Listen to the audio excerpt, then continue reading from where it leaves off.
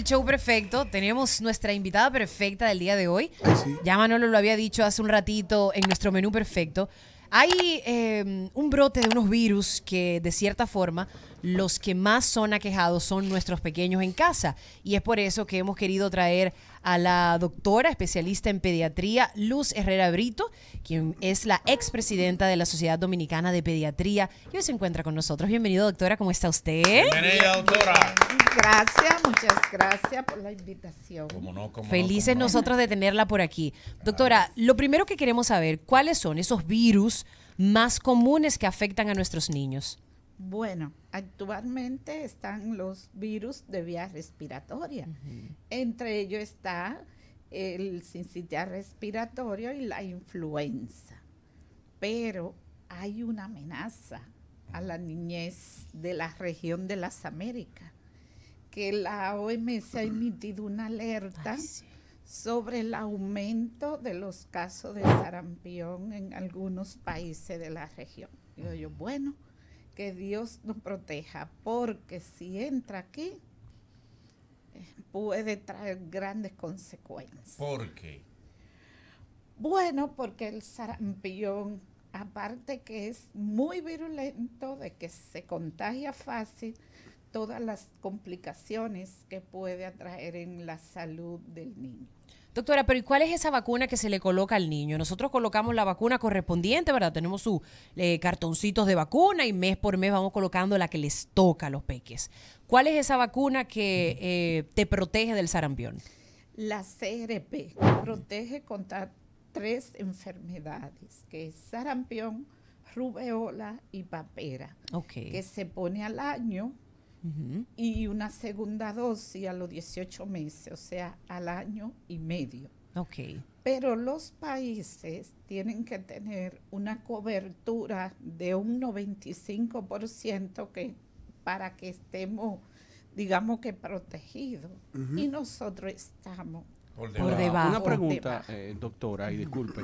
Eh, hace muchos años se hacían muchas campañas con respecto a ese tipo de cosas, la vacu- vacunación del polio, eh, y se iba casa por casa, que eran muy exitosas, eh, el mismo sarampión y varicela. ¿Qué está pasando ahora que en estos tiempos, qué sé yo, hace 20, 30 años para acá, 25 años, ya no se sienten esas campañas y al mismo tiempo, ¿usted cree que se están vacunando los niños como antes o ya la gente lo suelta en banda? Porque no hay esa... Una corrección, varicela, el país no lo tiene contemplado dentro del esquema. Del Ok. esquema. Que yo como presidenta de la sociedad decía que es una inequidad con relación a la varicela y la hepatitis A. Ok. que el Ministerio de Salud no lo tiene contemplado dentro de su esquema. Solo se la pueden poner los niños que la pueden pagar, que los padres la pueden Es- pagar. es- Y es muy cara. Eh, bueno, es un- para una gente pobre, Sí. pero no, no, eh, no, es No que está tan contemplado dentro del, proto- del del esquema. protocolo, Claro. del esquema oficial estatal. No, para un niño ponérsela la tienen que pagar. pagar. costear. Entonces, mm, ellos no lo tienen visualizado como un problema de salud pública, pero sí tiene consecuencias. Claro. en los Do- doctora, entonces una pregunta. En- eh, Ah, sí. una que no he terminado. No, no, Ah, no, no, no, no. Eh, La- exacto. Sí. Diga usted. Mira, antes los esquemas estaban eh, un poquito por debajo. A medida que se hicieron campañas y que fue aumentando, pues ya eso no veo que lo hacen. Y entiendo que es una necesidad porque a raíz de la pandemia los esquemas disminuyeron y corremos el riesgo de que se Suban. y Claro, que claro. reaparezcan algunas de esas enfermedades que ya se consideraban eh, superadas. Claro. Ok. Ok, eh, una prioridad que todavía no se le haya puesto atención en el Ministerio de Salud y que usted entiende que, que debería ponérsele más carácter eh, a nivel de, de pediatría. Eh, ¿qué, ¿Qué nos está faltando? Bueno, ¿qué te digo? Ay, mi madre. Bueno. Lo dijo Eh, todo. eh, ¿eh? Aparte de todo, ¿qué más? Eh, era más fácil preguntarle, ¿qué tenemos? muchas cosas, muchas cosas. Lo primero es que como se vanaglorian de que eh, el crecimiento económico no se corresponde con la situación de salud. La mortalidad infantil es vergonzosa. Ah. Estamos en mortalidad después de Haití, somos nosotros, Wow. En los Américas. En las Américas. Wow. Somos nosotros. Otra cosa es el embarazo en adolescentes. Claro. Somos el país con la tasa más alta de embarazo en adolescentes en la región de las Américas. En 18 nosotros estamos en 20 y las consecuencias que trae a un país a la salud de las niñas el embarazo en adolescentes. Niños trayendo niños. Claro. Niños trayendo niños, pero eso perpetúa la pobreza, Sí. porque el adolescente tiene que dejar de estudiar. Exacto. Y también eh, no puede trabajar porque es menor Claro, de claro. edad. No, y muchas veces es un círculo vicioso y se repite la historia. escuela Ujú. Porque tiene que atender el niño. Muchas veces hasta la botan de la De escuela. la Claro. casa, y las complicaciones que tienen eh, los hijos de madres adolescentes. Doctora, ¿qué, qué, cuáles son las alarmas que debe ponerle atención las madres? eh, sobre todo las madres, los padres también, los, los papás no, pero principalmente las madres que están cerca, eh, para cuando el niño da cierto viso de alguna enfermedad de esas virales. ¿Cuáles son las alarmas regularmente? ¿Cuáles son los síntomas que le pueden decir? El niño tiene tal cosa, o a veces una simple fiebrecita, o se puede complicar por uno creer que es algo sencillo. ¿Cuáles son las Mira, principales? los signos de peligro en un niño, por ejemplo, con cualquier, con fiebre, con cualquiera de esas enfermedades virales son eh, vómitos que no se paran. Eh, también si tiene fiebre, la rigidez de nuca es un signo de, nosotros le decimos a las madres siempre signo de peligro de muerte, porque cuando tú le hablas de esa manera, pues están pendientes. Claro. Y qué bueno explicárselo para que ellas sepan que cuando aparece, por ejemplo, vómito que no para, un niño menor de tres meses que no quiera comer o que tenga fiebre, Claro. eh, la fiebre en el niño menor de tres meses es un signo de peligro de In- muerte. Inminente. sí, de muerte. Eh, deben de volver inmediatamente al establecimiento de salud, buscar ayuda de un profesional. En el caso de la influenza, doctora, que es una, eh, normalmente nos vacunamos los adultos una vez al año, ¿a los niños también se le debe aplicar esta vacuna de igual forma? Sí, los niños de seis meses, a partir de los seis meses, se le deben aplicar, se le aplican dos dosis. Una a los seis y al mes se le aplica la segunda dosis y ya a partir de ahí, pues todos los años. Y está contemplado en el esquema, pero no se la ponen, no quizá porque la madre no vaya, yo digo, no sé si ustedes vieron cuando estaba comenzando la temporada que el ministro habló que se compraron 500 Ay, mil una locura, una dosis locura, una locura. de vacuna, pero los niños menores de 5 años son un 18% de la población. ¿Cuántos son 18% de 11 millones? Ahí mismo. Wow. Otra cosa, también se le deben aplicar a los adultos mayores. Sí. cuánta es la, cuánto es la población y a las jóvenes con enfermedades eh, catastróficas. Claro, claro. Entonces, tú sumas y es muy importante. 60%. Sí. Me hacen una pregunta aquí, pregunta un, un- un oyente, el lawyer. Eh, ¿Qué hacer para detectar el autismo temprano si las vacunas están relacionadas para esta condición? Eso no es verdad. No. Las vacunas no están relacionadas con el autismo. Ha crecido el número de niños autistas, pero tenemos que ver la contaminación ambiental, la radiación y todo este tipo de cosas. Las vacunas no están relacionadas. Que quede claro porque están creciendo los movimientos antivacunas, Sí.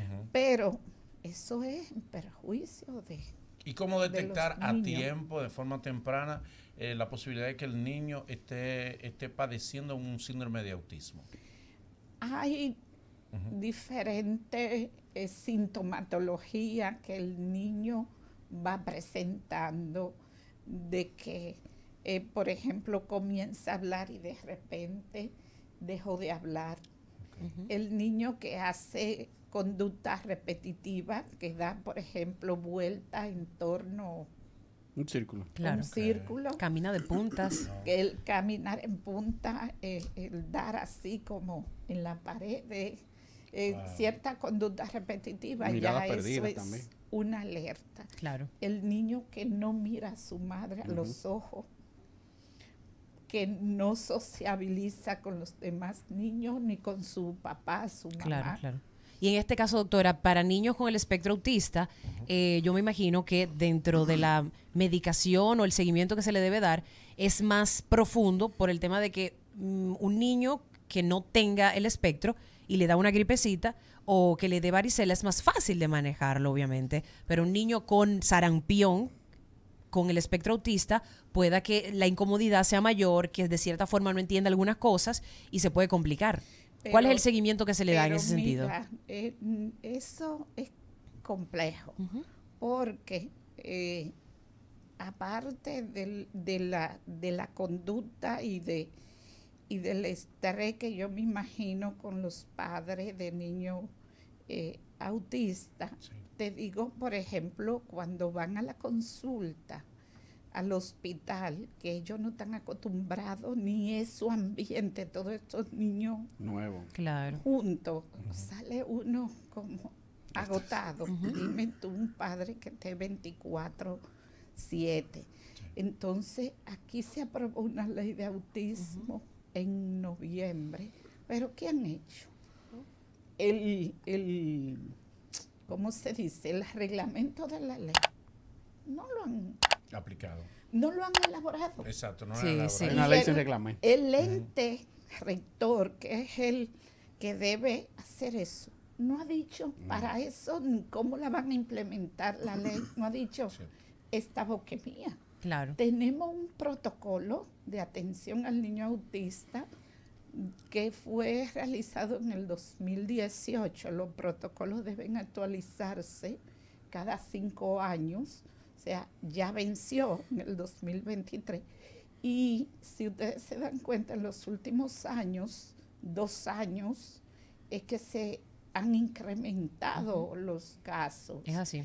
Y el protocolo hay que actualizar. Claro. Claro. Y Doc- doctora, al- a, lo- a eso de, usted dice, dice que en los últimos dos años se ha incrementado. Muchas personas han, han prácticamente confirmado eh, que tiene que ver con las vacunas del COVID, que le pusieron a niños pequeños o, o madres embarazadas y una cantidad de cosas. ¿Qué hay de cierto con esto de la vacuna del COVID y ese tipo de espectro autista y tal vez otros? No, no, no. Eso no hay evidencia científica que eso se pueda demostrar. Eh, dicen que el uso de, de ciertos medicamentos en las madres, eh, la contaminación, como le dije, ustedes saben, la alimentación, Sí. no hay una alimentación eh, Balanceada. balanceada, mucha comida eh, chatarra. Cierto. Y, pero eso de que la vacuna del COVID eh, lo produce no, no está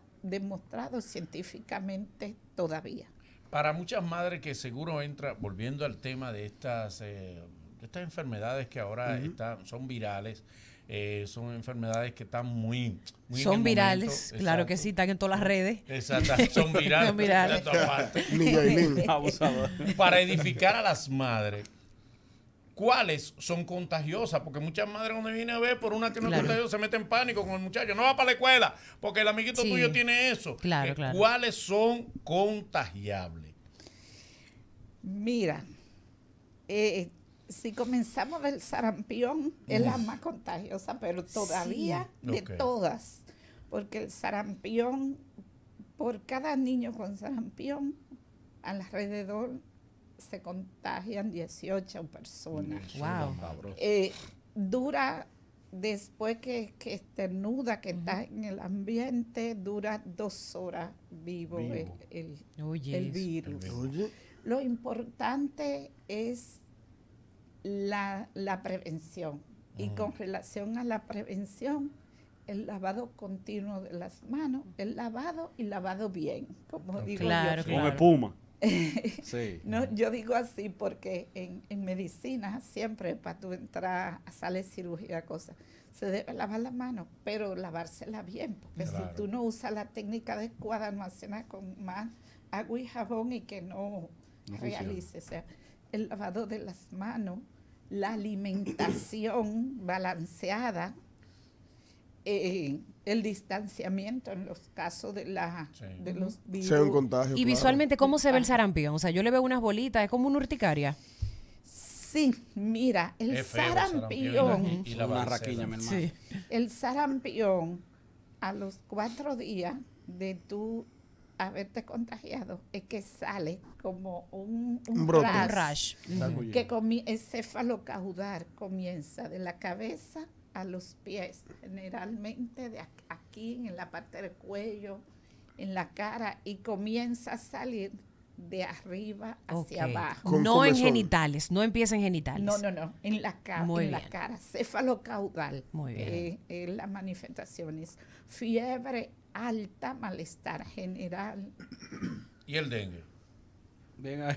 Está bien, muchacho. ¿Cómo el manifiesto del dengue? Encendido. Donde Porque hay Lo, lo- lo tenemos en pausa. El dengue también está, está, está viral. Sí, ha vuelto, Está ha picando, vuelto. está picando. Está duro el A dengue. Don Dengue y su pandilla. ¿Cuáles son la, la, la manifest- los sintomatologías del dengue? Para que las madres sepan. Mira, aunque el dengue da también un rash, Ujú, pero no es como el sarampión, que es cefalocaudal. ujú. El dengue comienza con fiebre muy alta, intenso dolor de cabeza, dolores articulares Ay, ay, ay. y, y retrooculares, o sea, Cuando ojos. pestañas, migraña. siente la bolita Ay, de los ojos que te, que te duelen. Sí. Entonces, el dengue se puede manejar en la casa si no hay signo de alarma. Claro. Entonces, ¿Cuál es el signo de alarma, doctora? Fiebre dengue, constante. Fiebre alta. eh, la fiebre está con el dengue con signo de alarma y sin signo de alarma, pero aquel niño que vomita lo que come, que tiene dolor abdominal, esos son de los de lo más leve, como diría claro. signo de alarma en un paciente con dengue. Está vomitando, le duele el estómago, Arranca. arranca porque se te puede morir, porque el niño con dengue se deshidrata fácil. ¿Y afecta Signo el de corazón la deshidratación, doctora? af- afecta todo. Todo, todo, todo. Eh, otro signo de alarma en el dengue son los sangrados, que sangran por la nariz, por la encía, en las evacuaciones, o que vomita sangre también es un signo de alarma. Do- doctora, eh, a nivel de infraestructura, ¿hace falta otro Robert Rick Cabral? Yo creo que lo que hace falta es la organización de las redes de servicio, porque el Robert Reed se llena porque la gripe, toda la gripe y todas las cosas que se pueden manejar en un hospital de segundo nivel llegan aquí. Claro. Si las redes de servicio la organizan, pudiera ser eh, que no que no haga falta. Una pregunta. Si hay una organización en la red, mi, mi humilde opinión. Claro. Doctora, eh, siempre se están haciendo y abriendo eh, hospitales en toda parte del país, eh, inaugurándose, pero generalmente no, no tienen lo que necesitan para trabajar. O sea, ok, ahí están las máquinas, pero entonces no hay gasa, que no hay jeringuilla, que tú tienes que salir a buscarla tú y comprarla y llevarla para atrás para que te atiendan. ¿A qué se debe esa falta de desorganización? ¿Por qué están inaugurando hospitales y no tienen cómo Mira, manejarlo? Falta de planificación, digo yo, porque con relación a la salud infantil, eh, por ejemplo, el país no llega, creo que a 70 camas de cuidado intensivo pediátrico. Coño. que cuando el, el COVID. COVID, yo hice un llamado de atención con relación a eso, el Robert Reed lleno, pero hay pocos eh, cuidados intensivos en pediatría. Se nos mueren niños por falta a veces Cama. De cama. de, de cama Wow. de uso. en edad pediátrica, porque en recién nacido yo veo que, que llevan hasta hospitales de segundo nivel, eh, ventiladores donde no hay médicos que saben usarlo y eso está ahí almacenado. Otra cosa que hace falta en el país, un hospital para niños quemados. Solamente hay uno Wow, en sí. Santiago. En Santiago, yo recuerdo, sí. A veces- Por una fundación que se fajó, luchó, incluso nosotros Sí. fuimos a un reality Sí. para aportarle a esa, a esa fundación, eh, Wow. para ese hospital para niños quemados. El Robert Reed no tiene, sea, tiene tiene unidad. habitaciones, pero no tiene unidad que sea específicamente por eso. Hay un edificio que comenzaron hace unos años que hasta se va a caer y no lo van a terminar. Entonces, esas son cosas de las que faltan para la salud de la niñez y que yo entiendo que eso de estar con 20 millones en equipo, pero ve a ver que lo meten ahí. Claro. No, le dan. Atala. Eh, hay, hay también problemas de, de traumatología entre los niños. Eh, hay mucho, o no, no existe mucho. todo el Darío. tema. Claro. El niño que se, se fractura un brazo, se fractura la pierna, la cabeza, y eso. ¿Hay muchos casos de eso o no? Son lo- los mínimos. Sí, sí, hay casos, porque tú sabes que hay muchos accidentes en pediatría. Tú sabes que el muchacho a veces se sube y Inventa se tira, se Claro. inventa Volando mucho chichigua. y no sabe que... Ujú. Pero en las unidades de cuidado intensivo, eh, las camas de intensivo pediátrico y una unidad de quemado para niños que, que a- Esa es la prioridad Claro. que falta en el mundo pediátrico ahora mismo. Claro que sí. ahora mismo. Bueno, pues queremos darle las gracias a la doctora Luz Herrera por acompañarnos eh, en nuestro programa el día de hoy, arrojarnos luz con este tema tan interesante. Hay muchísimos virus y yo creo que a modo de conclusión, doctora, lo que hay es que estar es pendiente, darle seguimiento a nuestros hijos para evitar una condición que pueda afectar eh, más a los peques, ¿verdad? Sí, Eh, Entonces, ¿cómo la gente se puede comunicar con usted, doctora? ¿Es bueno comunicación con usted, redes sociales, su teléfono y todo eso? Para que la gente pueda darle seguimiento. Claro, y para las Mira. consultas. Mira una cosa con relación a los padres, que sepan las medidas preventivas, pero hay una responsabilidad que es la Rectoría de la Salud, que es el Ministerio. De aquí hay muy poca educación en salud y los padres sí. muchas veces cometen errores por ignorancia, porque no están educados en salud. Y que echando el orégano en el oído, Señores, muchacho. con tanta ¿qué es eso? capacidad de comunicar.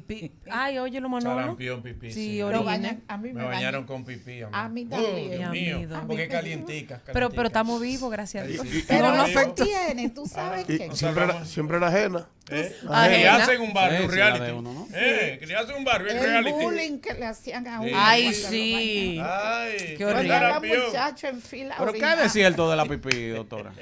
Lo, lo que pasa, yo digo que eso lo hacían, tú sabes, que el caliente de la pipí Ujú. baja la fiebre porque es vasodilatador. Y el agua no la baja. El agua la Pues baja, dámela claro, caliente. pero que la gente no sabe. Hagámoslo con agua. No por agua caliente. Ayúdame ahí. Bañerita. con agua. bullying que le hacen. Claro. Doctora de maldad a ¿dónde. ¿dónde puedo llevar a mis peques a consultarse con usted?